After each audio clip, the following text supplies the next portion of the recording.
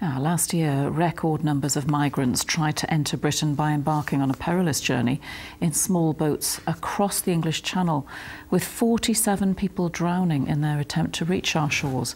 Well, to highlight this and raise funds for refugees, a man from Stockton's preparing to swim the Channel from Dover to Calais with four of his friends. Duncan Macaulay runs the Northeast Refugee Charity Action Foundation. And as Phil Connell reports, he's been training for the Channel swim at Saltburn.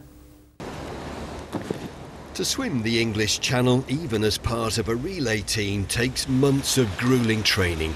And since January, the sea off Saltburn has been Duncan Macaulay's regular training ground. It's beautiful here at Saltburn. Actually, today is a particularly nice day, although the water will be quite cold, maybe 10 degrees. It's been really good to be able to train locally. OK, well, off you go. How cold is it today, then, do we think? Well, let's find out. good luck.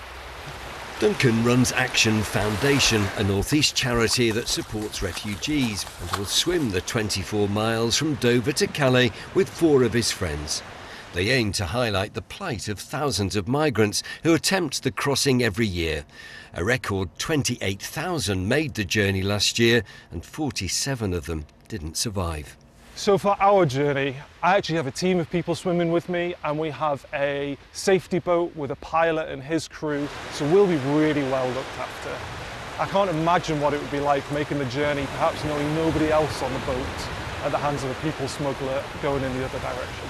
By doing the swim, Duncan aims to raise £10,000 to help refugees. In Saltburn today, his training session drew a supportive crowd. You make an awareness of what it's like out at sea. I mean, these people just go overboard and gone, they've gone. People's trafficking, it's money, it's all about money. And the people's traffickers are making an awful lot of money, aren't they?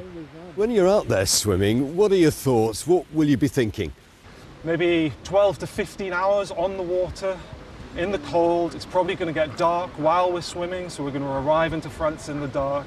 So I'm expecting to have to keep reminding myself why we're doing this and keep telling myself to keep going to reach the end.